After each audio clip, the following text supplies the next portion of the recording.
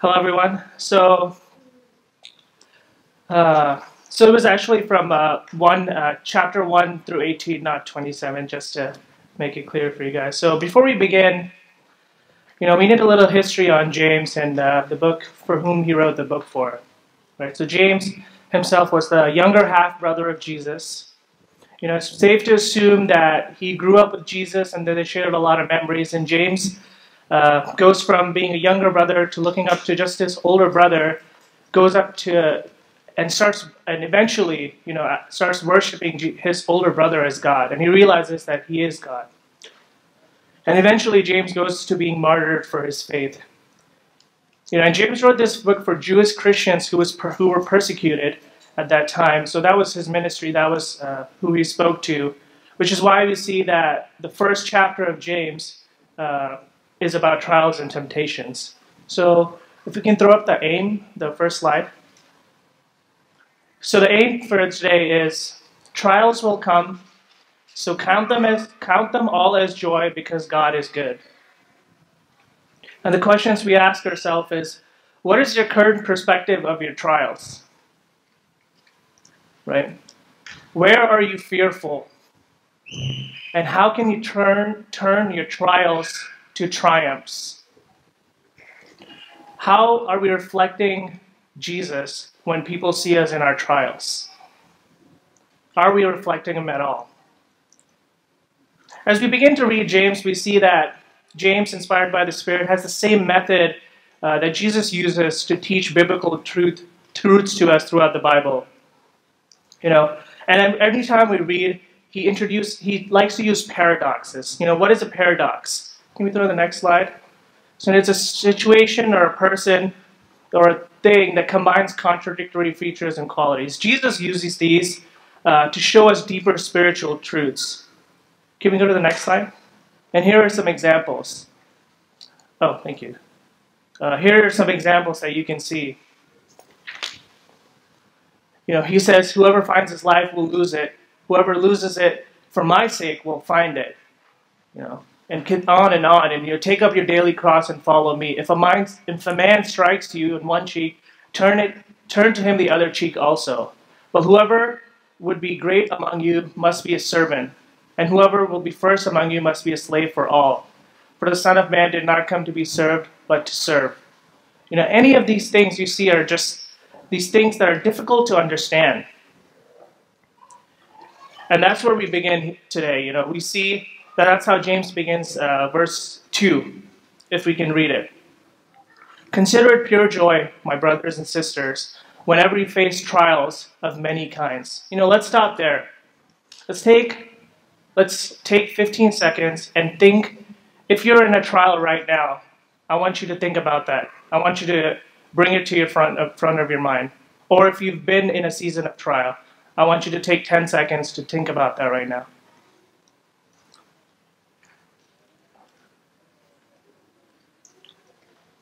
Think about something you've gone through or are going through, right?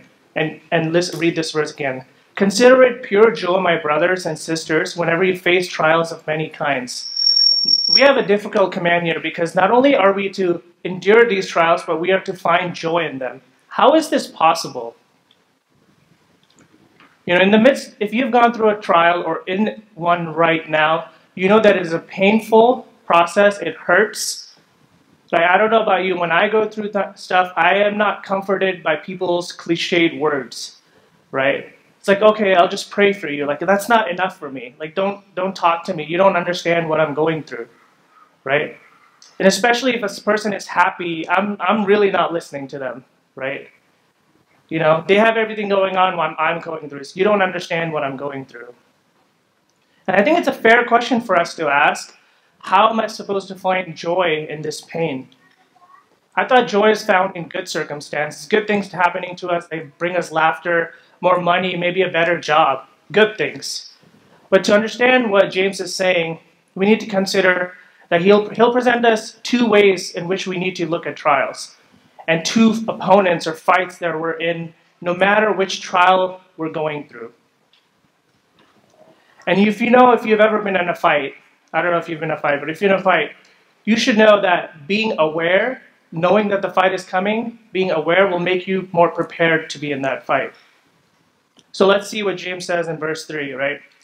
For you know that the testing of your faith produces steadfastness, and let steadfastness have its full effect, that you may be perfect and complete, lacking in nothing. James is saying that the first view of how the first way we should look at trials is that the Christian view trials as a pathway to maturity. And the obvious question to ask is how can trials lead to maturity, right? How can struggle lead to success? Well, let's look at our own lives. How many of you play instruments? Right? How many of you uh, have high level paying jobs that are stressful? How many of you are in school working hard in school? Hopefully, working hard in school, right? How many of you are proficient at those things? Did you have to stumble and fail to learn? Didn't you have to be consistent? Did anything you accomplish today that you cherish come to you easily? No. We know that it required sleepless nights, stressful work, training, practicing, falling, and getting up again.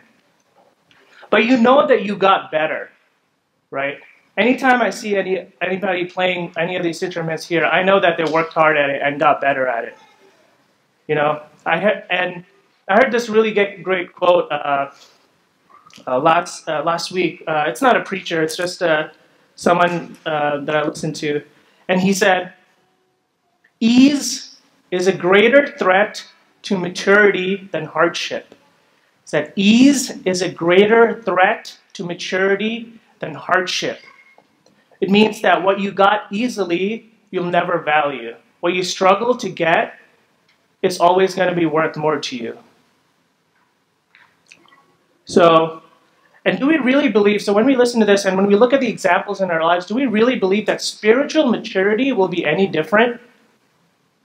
Did any of you, when you accepted Christ, gain superpowers of wisdom, patience, love, or self control? Did we magically figure out uh, how to work out, solve all our problems or smooth out all our relationships and gain some kind of spiritual mastery? No, none of us. You know, we need to realize that if we are Christians, we are going to face trials.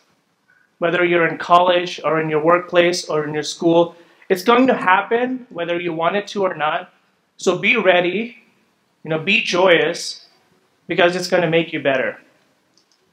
You know, at this point you might be like, okay, I've seen this. I've seen enough movies and I've seen enough TV to know like that's that's how it works. Okay, like you struggle for a year or two, maybe you struggle to two or three things, and then you get better, and then boom, that's fine. But why does it say trials of many kinds? Why not just two or three major things, maybe like a year's worth? I can struggle for a year, and then I should be okay. Why does it have to span my entire life?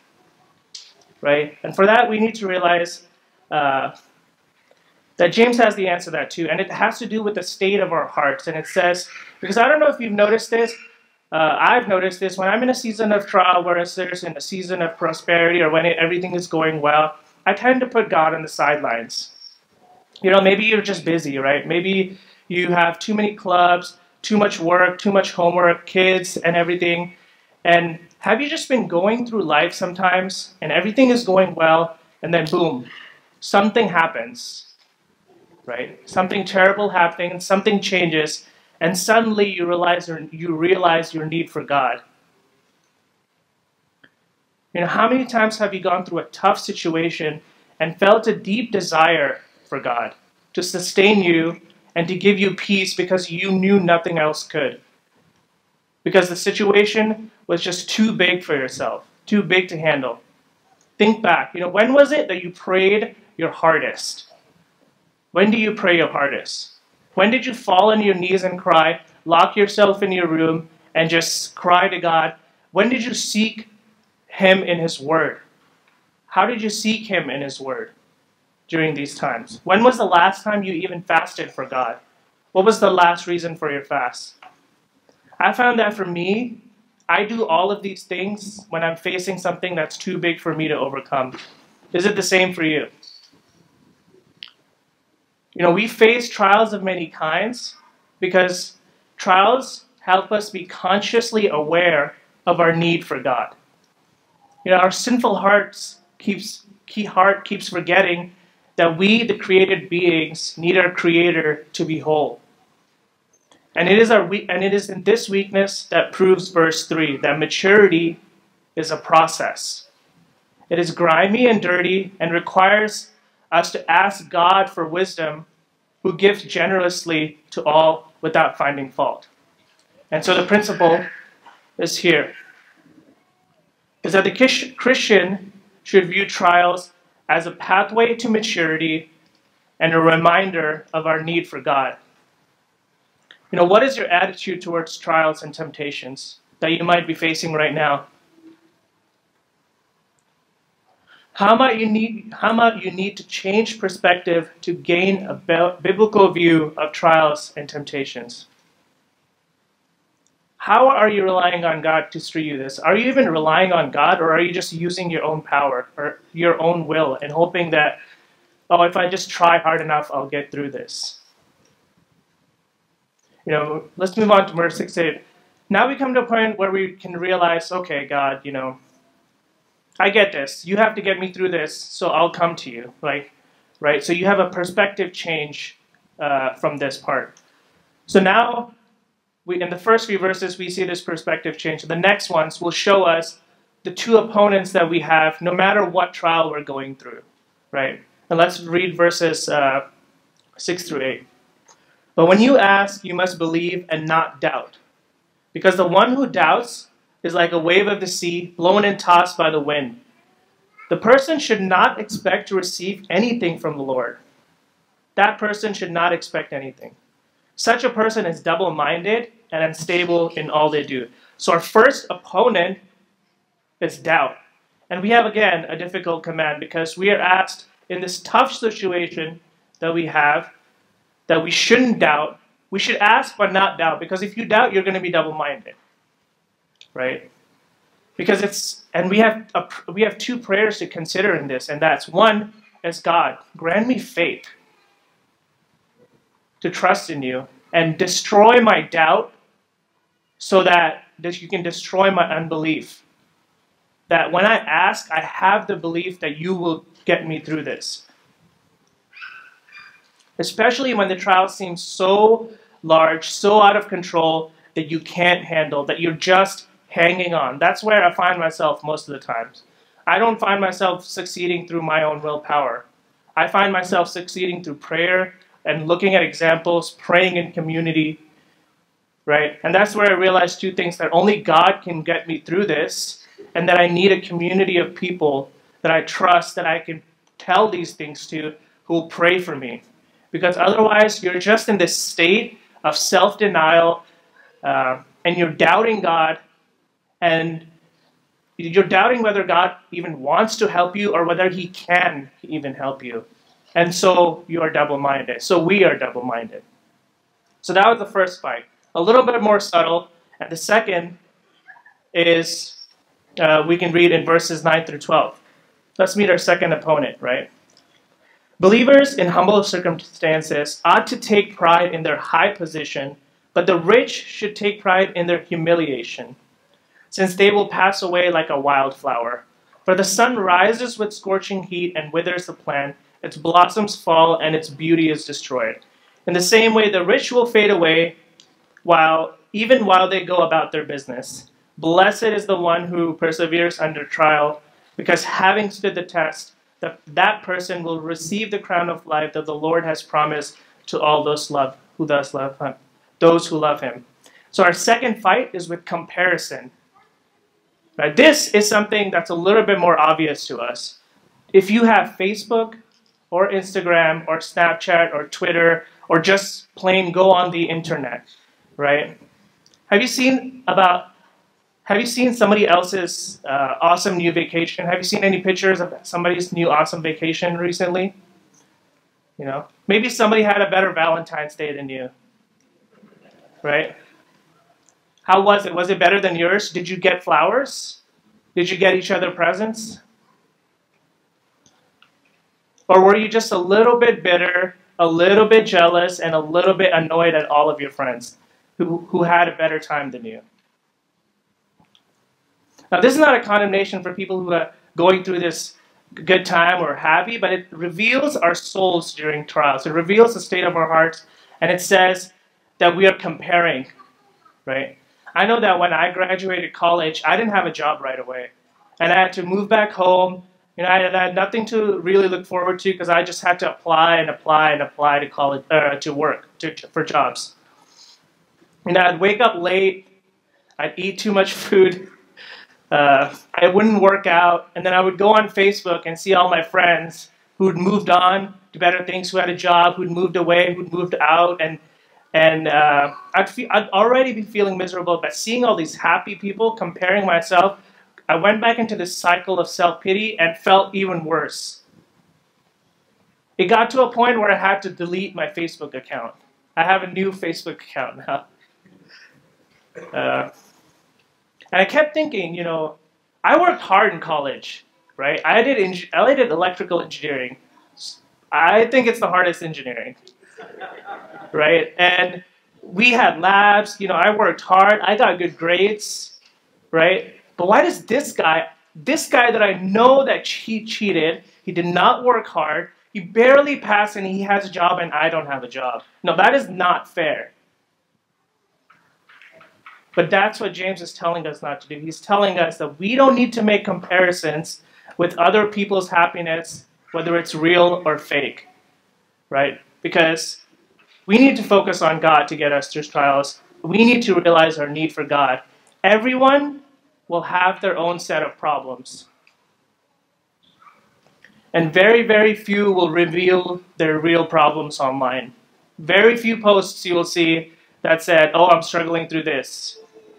Are you? No, nobody's going to say that. They're just going to post cool selfies on mountaintops, right? Or near beaches. That's the one I recently saw, so that's what I'm saying. Okay. Uh, so I heard this great saying. It said, you know, if you throw all your problems in a pile and saw everyone else's, you would take yours back because you realize you'll realize your your God has equipped you to deal with your own problems, right? So let's stop comparing ourselves. Let's stop self pitying. And let's fight to receive the crown of life that God has promised.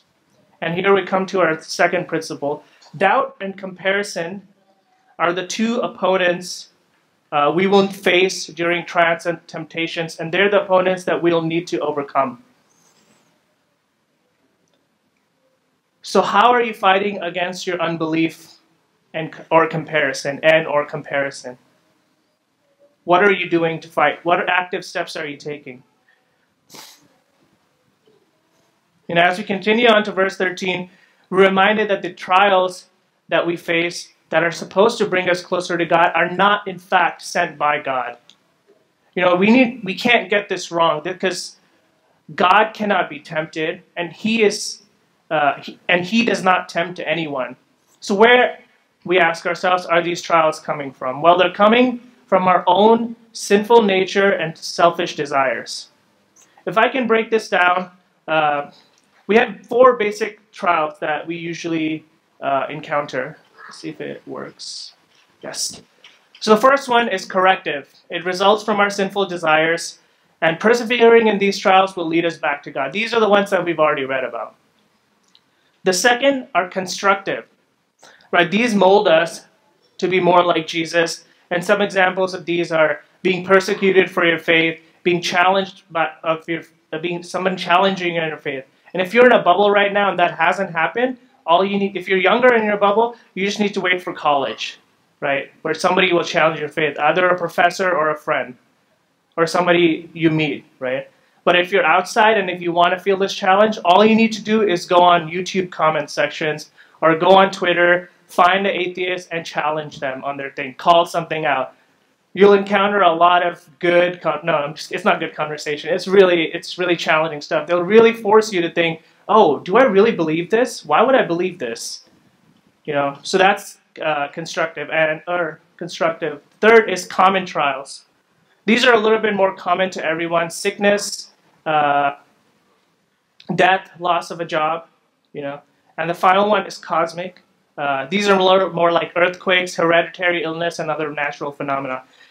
What we realize is during any of one of these trials, we are going to want to believe uh, that we, what we want to do is better, that God doesn't know better, that we can have control over our lives, and that our will be done. But how often that is that really true? You know, we delude ourselves and lie to ourselves and fall into this opposite progression that's described in verse 15. It says, And we are dragged away by our own evil desires and enticed, and death uh, enticed. Then, after desire has conceived, conceived, it gives birth to sin, and sin, when it is full grown, gives birth to death.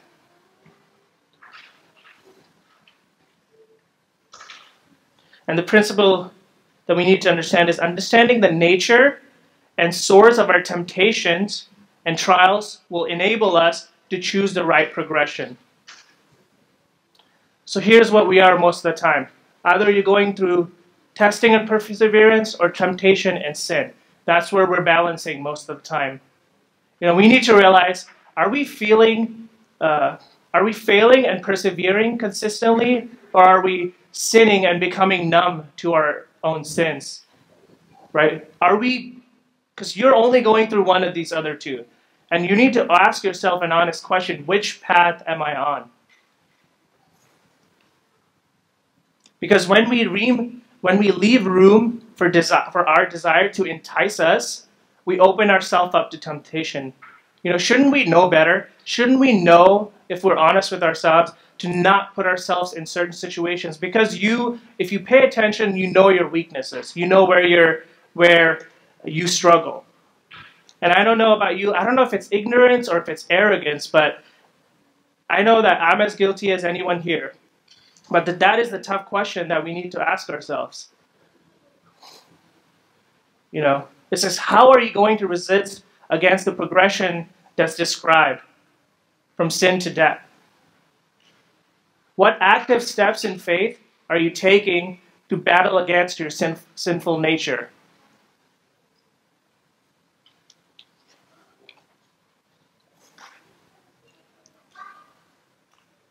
As we finish this section, you know, James doesn't leave us hopeless. You know, as we continue on to verse 16, he says, Do not be deceived, my brothers and sisters. Every good and perfect gift is from above, coming down from the Father of light, heavenly lights, who does not change like shifting shadows. He chose to give birth through he chose to give us birth through the word of truth that we might be a kind of first fruits of all he created. James is saying that our anchor during trials and temptations should be in the character of God. That He is good and kind and merciful. And that every good and perfect gift that comes is from God.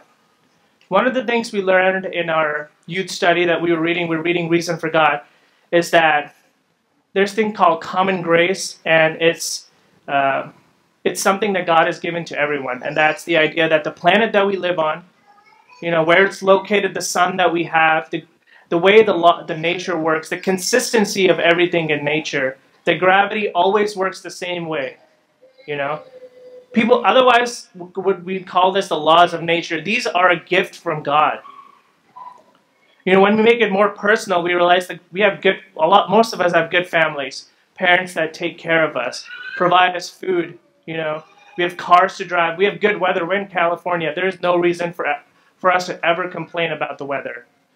You know, it's funny. It's people complaining about raining too much when three, four years ago people were consistently complaining about not having enough water. And it's it, it's yeah. Uh, so you know, when we hear this, do we really believe that what we have is normal for the rest of the world? We just saw things about the mission trip. What we have is not normal.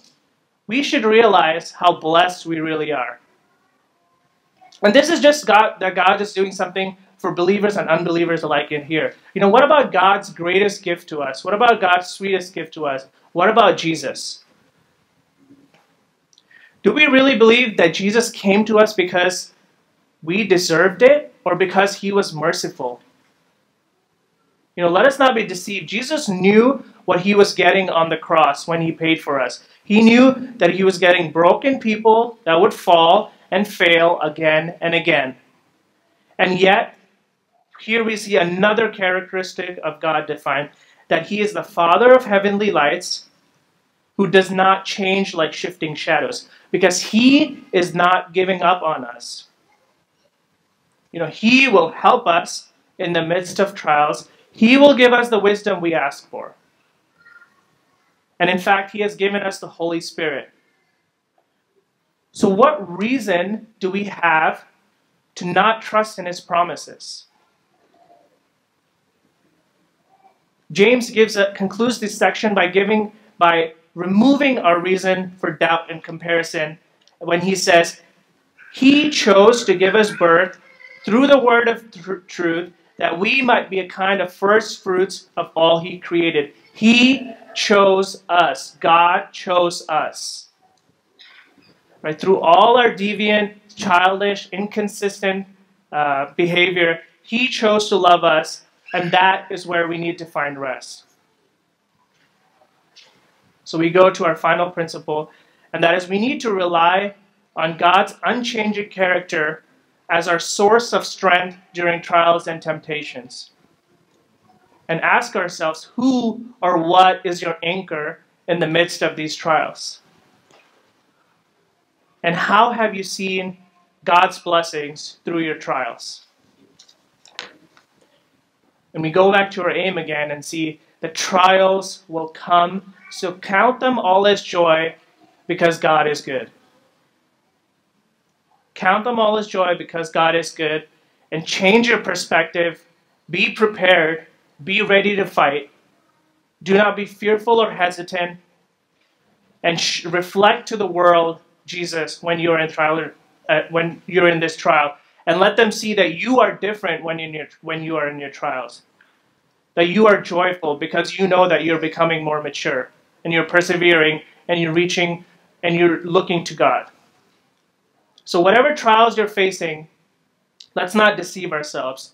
You know, let's remember why Jesus came to die. You know, if you need proof, you only need to look at the way the 11 disciples uh, were martyred and the hundreds that get martyred every year for the gospel. We know that if I know that I know I asked you to think about something in the beginning, and if you keep bring that up again, you know, think about that. You know that it is a painful time and that you need to no matter what it is for different different things for different people that you are going through either doubt or comparison. Those are your opponents. Right? Or sometimes both. But you need to rely on the fact that God chose us because he desired us. You know, he already sent Jesus to take care of our sins, and he made sure we would never be alone. 1 Peter 1 3 through 8 reminds us Praise be to the God of our Father, of our Lord Jesus Christ. In his great mercy, he has given us new birth into a living hope through the resurrection of Jesus Christ from the dead, and into an inheritance that can never perish, spoil, or fade, kept in heaven for you who through faith are shielded by God's power until the coming of the salvation that is ready to be revealed in the last time. In this you greatly rejoice, though now for a little while you may have had to suffer griefs of all kinds.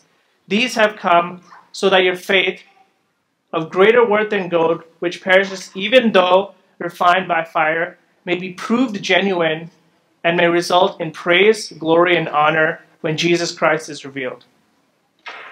You know, Jesus' ministry constantly showed us how to deal with temptation. In Matthew 4, Satan himself tempted Jesus.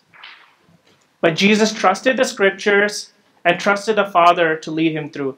Every, if you remember, every taunt and temptation that Satan threw at Jesus, Jesus rejected by quoting the scriptures.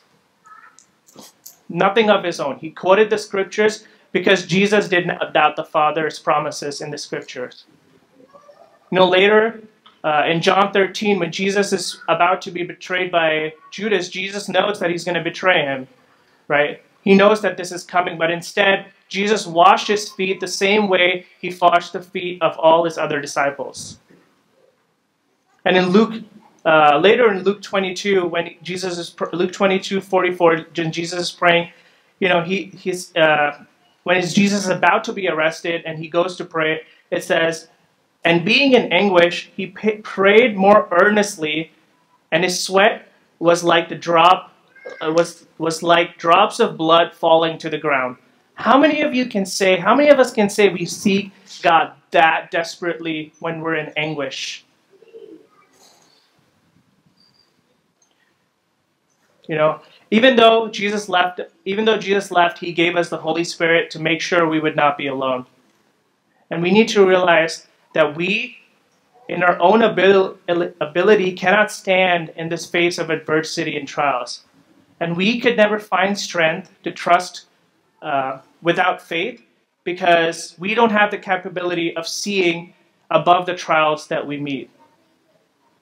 So let us keep our eyes focused on the King while counting on the trials we are currently experiencing as joy. Thank you. Let's pray.